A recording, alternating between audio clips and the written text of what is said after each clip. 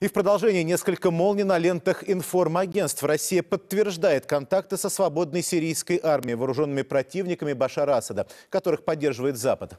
Их делегация приезжала в Москву, сказал журналистам специальный представитель президента по Ближнему Востоку, замглавы МИДа Михаил Богданов.